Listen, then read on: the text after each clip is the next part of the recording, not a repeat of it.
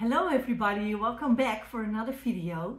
Today I'm going to show you something very very different, but I love it. I will show you the end result right now and then you can see the process after this. This is my new flourish painting.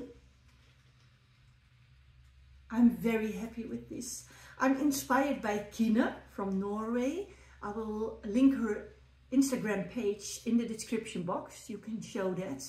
She's a very, very talented artist and, and I'm very happy with my piece.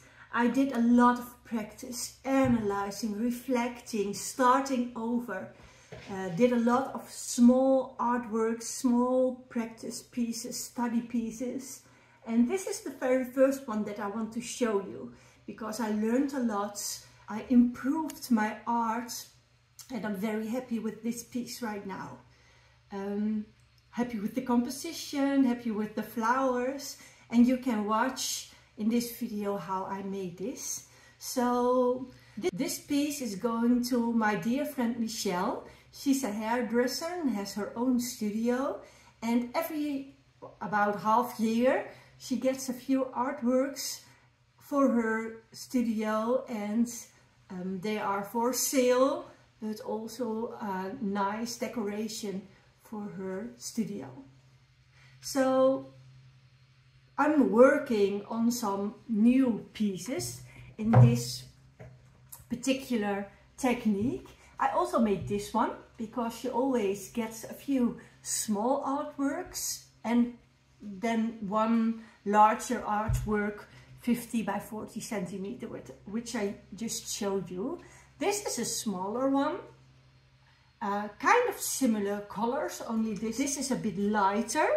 Um, and you have to know that I mix my own texture paste and I love to do that. But also this is very rough and I was wondering if I should use a more smooth molding paste. But very happy with the outcome but maybe I should try a more smooth molding paste. And then another one, a very, very nice one, similar colors. Uh, and I'm working on two other pieces with completely different colors.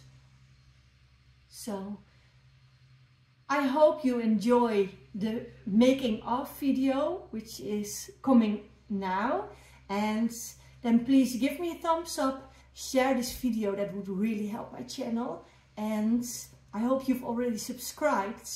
Until now I always uploaded two videos a week and that was just fine. Acrylic pouring is not that much work as this technique so I'm not sure um, when I'm working on this technique which I'm enjoying very much at the moment I'm not sure if I can upload two videos a week, but I will um, upload some shorts of process videos on which I'm working at the moment. So I hope you all forgive me for that. And I'll show you when I've got an artwork done because I'm very proud of them. So have fun, enjoy the video and don't forget to share and subscribe. See you for the next one.